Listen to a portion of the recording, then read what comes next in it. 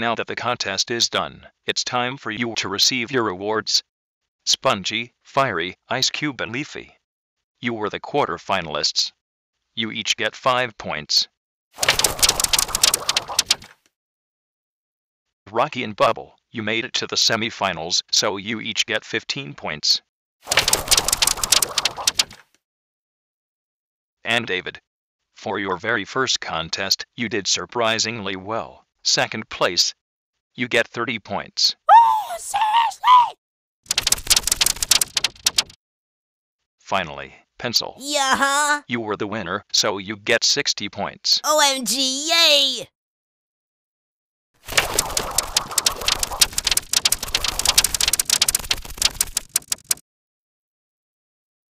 Okay, who just did that? I did. I already told the contestants that the scoreboard can only hold two digit numbers. I'm really sorry.